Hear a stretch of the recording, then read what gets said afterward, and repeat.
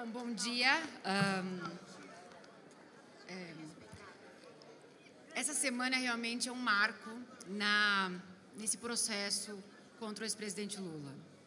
E essa semana é, uma, é a confirmação de que Lula livre realmente é uma questão de defesa do Estado de Direito.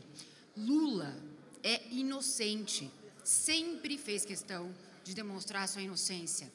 Esse processo, gostaria de voltar um pouco para a gente não esquecer uh, uh, todos os, os, fatos relevantes que demonstram essa, essa perseguição, esse lawfare que o ex-presidente sofre.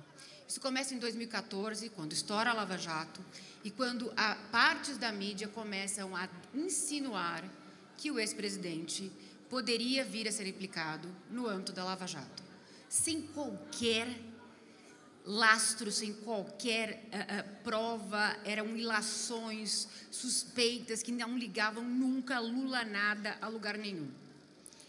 O que acontece? Um, um procurador de São Paulo pega a revista Veja em uma dessas uh, denúncias falsas e começa um processo sobre essa denúncia do triplex. Vocês se lembram que esse processo estava em São Paulo. Quando esse processo uh, é utilizado, e nós, inclusive, brigamos muito na justiça para que esse processo não fosse.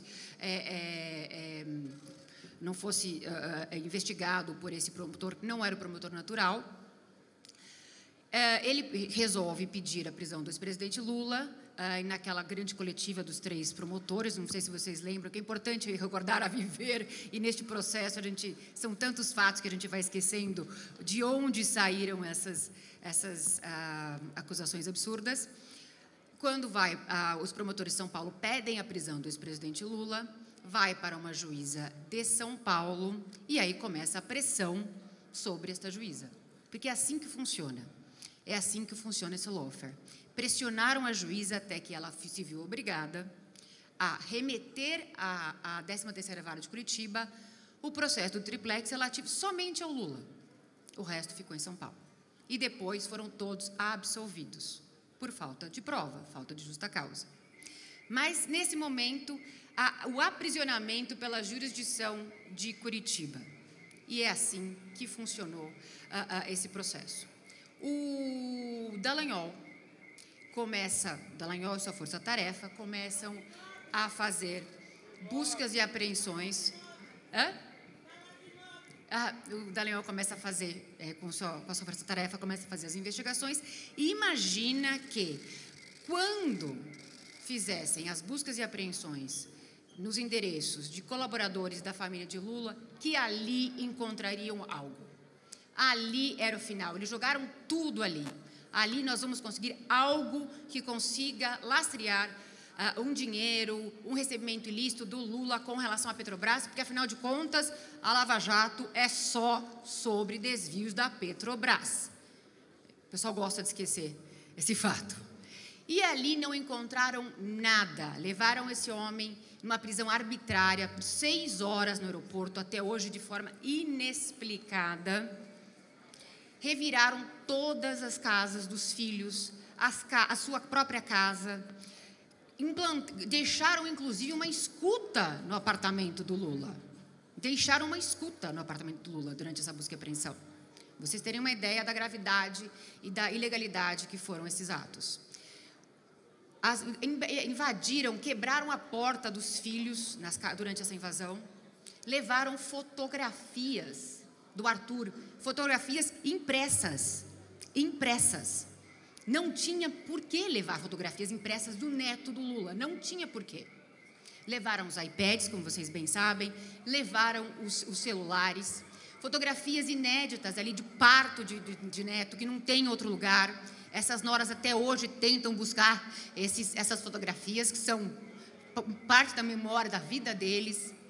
Eu nunca vou me esquecer, no dia depois de ao longo de muito, muito, muita batalha ali no, no, junto à 13ª Vara, quando devolvem parte desses iPads, a cena, gente, a cena de, dos Mickeys, que só tinha o joguinho de Mickey, levaram a, a, a agenda, estou tá lembrando, levaram a agenda da escola do Arthur, porque falaram que a mãe do Arthur poderia estar trocando em código é, é, é, é na agenda do filho da, na, na, agenda da escola do filho, trocando mensagens em código.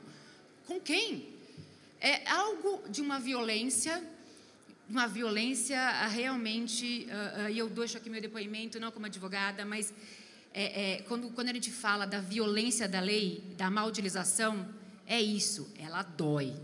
Ela é poderosa demais. Só responder a um processo, ser investigado já é uma pena. É uma pena. Você já está cumprindo uma pena. Ser investigado indevidamente, ser caluniado todo dia, é, algo, é um processo que dói demais, é violento demais. Uh, nesse, nessa, nessa, nessa altura do março de 2016, nós entendemos que havia um processo uh, orquestrado para culpar o ex-presidente Lula e para, de, de alguma maneira, não sei se aquela época prendê-lo, mas de alguma maneira apagar a sua biografia. Porque as acusações e as hipóteses, elas não é que não haviam justa causa, não vou entrar no técnico, não haviam justa causa, elas não, não, faz, não tinham lógica. Não, não tinha lógica. Você comanda o maior esquema uh, de corrupção da face da terra para ganhar uh, uh, um triplex que você nunca teve, não pode ser seu, a menos que você pague. É, é, é algo. não tem uma lógica. Tem um outro processo também que fala sobre. Um, é, exportação de serviços no âmbito do BNDES e fala que o Lula faz, teria facilitado 7 bilhões em um contrato do BNDES para que, ao final, o, o irmão dele pudesse obter um pagamento de três meses de seguro-saúde. É isso, é isso que eles falam. Não tem lógica.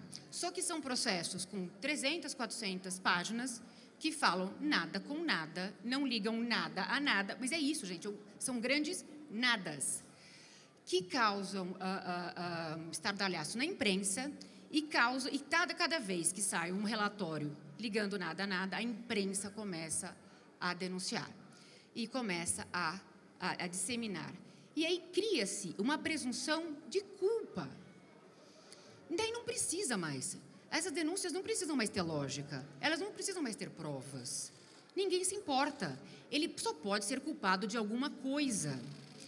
E o processo, quando se passa no campo jurídico, traz a discussão ah, ah, para um campo técnico que o cidadão que não é advogado não consegue atingir. E isso já é uma técnica em si, para que todos se percam na discussão, no que aconteceu, nas acusações, prova, My Web Day, sítio, ele frequentou a cachorra da, da Marisa que foi picada por uma cobra no sítio. Isso é prova. Tem o um relatório da Polícia Federal que, sobre o sítio que fala que o fato da cachorra da Marisa ter sido picada por uma cobra naquele sítio, a veterinária fez um relatório, é prova. É prova.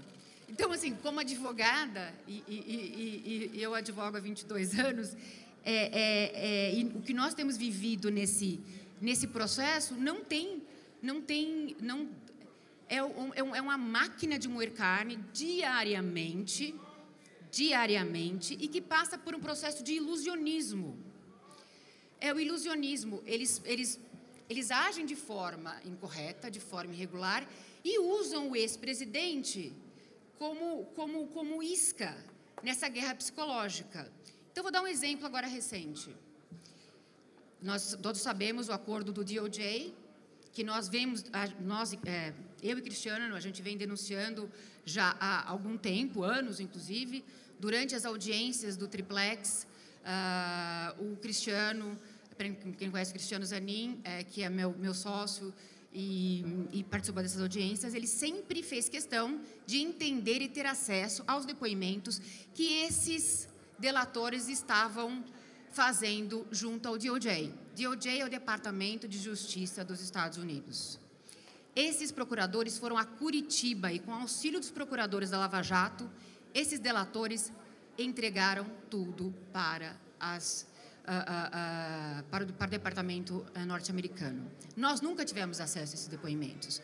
Até porque nós sabíamos que, se tivéssemos acesso a esses depoimentos, a prova de inocência de Lula seria feita. Ninguém consegue implicar o ex-presidente Lula em uma irregularidade, um ilícito, algum ato de corrupção.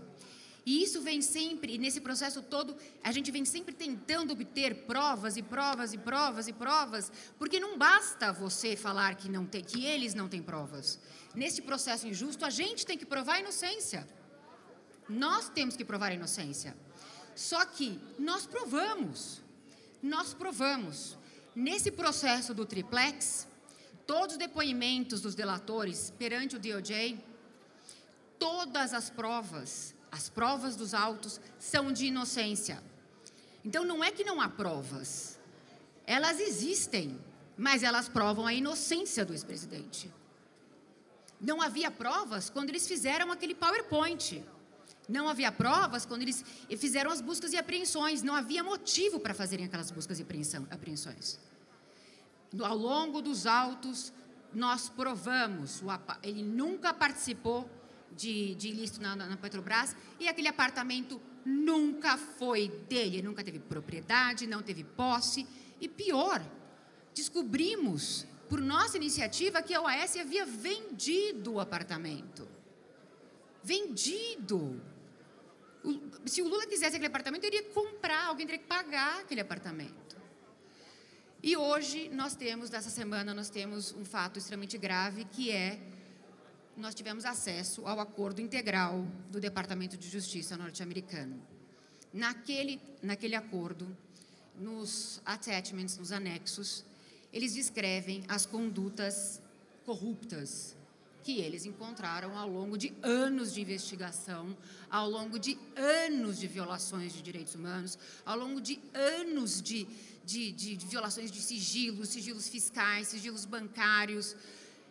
Não encontraram nada ali, ali fica descrito e circunscrito todo o ato de corrupção relativos aos contratos pelos quais o ex-presidente está sendo processado e pelos quais um deles ele está preso e não há nada do ex-presidente.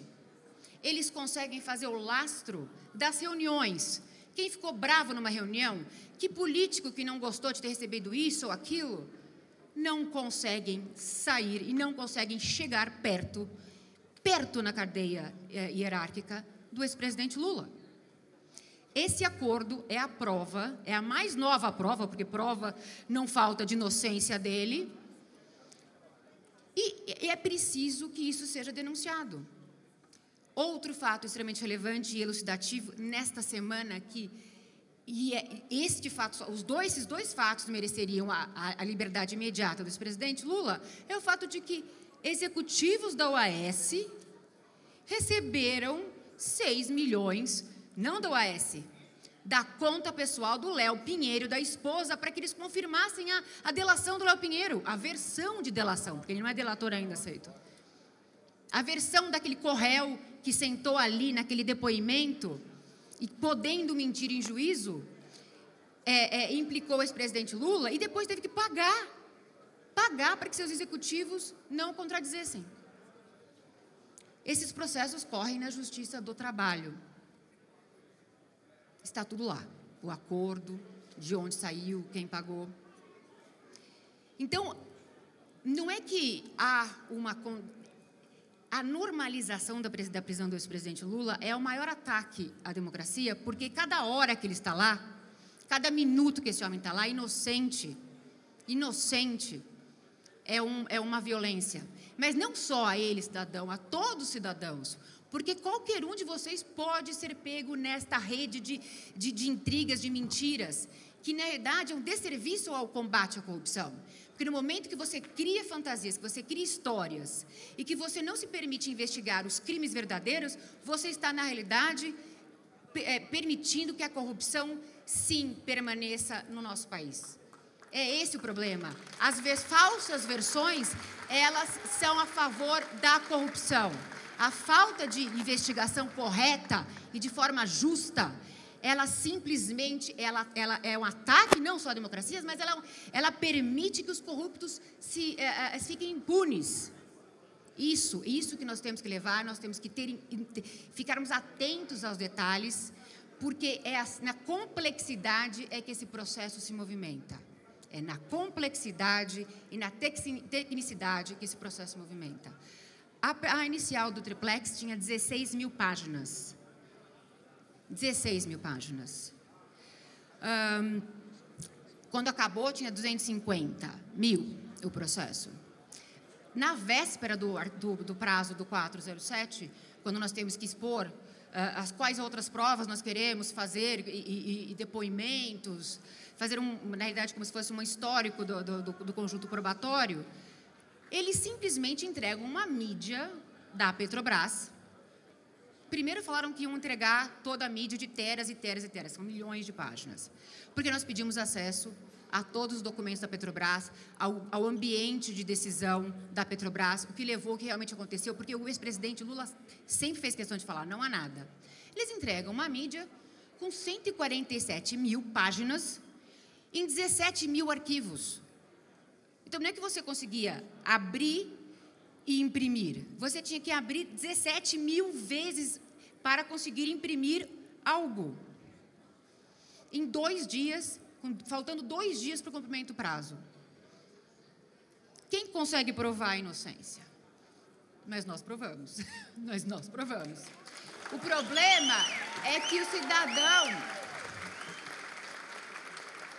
O ex-presidente, ele, ele faz e volta a falar em todos os processos, ele é absolutamente destemido. Ele é um cliente que senta nas reuniões e fala: não me importa, não, é, não há nada, não há nada. Abre uma web day, não há nada.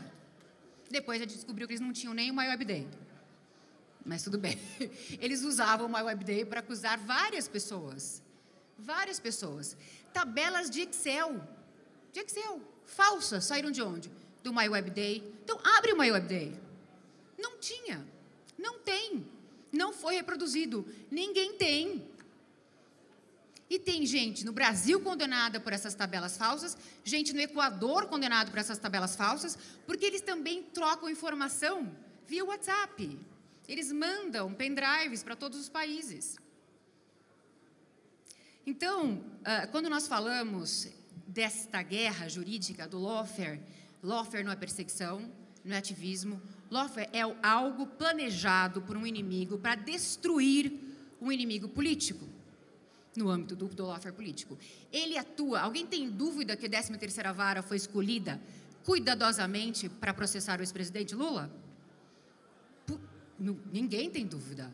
É lá, é lá que é o perfeito campo de batalha. É lá onde todas as acusações, sem pé nem cabeça, vão prevalecer. É isso. A arma é a lei de organização criminosa, que permite, e aliás, retroage no tempo, gente. Eles usam a lei de 2013 para retroagir no tempo. Que democracia permite isso? E o terceiro, a terceira dimensão que funciona é essa guerra psicológica que nós vivemos todo dia. É esse ilusionismo de Vamos, é, aparece os 51 milhões lá no, no departamento de Gedel. No mesmo dia, denuncia PT, denuncia Lula, denuncia todo mundo por alguma coisa. Vocês lembram daquela, daquela capa do Globo? Era o dinheiro, era o dinheiro com a, o, o fato, Lula e Dilma são denunciados. Então, a única coisa que eu posso falar para vocês, estou pedindo para que eu conclua, para que eu conclua aqui, é que são quatro anos Uh, são quatro anos em que nós lutamos e batalhamos diariamente. Nós já provamos a inocência do ex-presidente Lula, continuaremos provando nos outros, porque são todos iguais.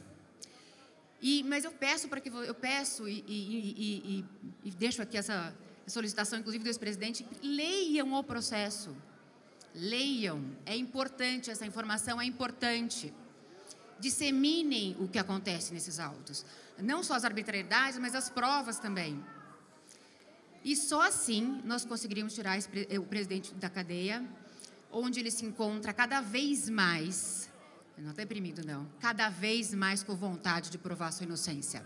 E nós continuaremos lutando para que ela seja reconhecida. Obrigada, gente.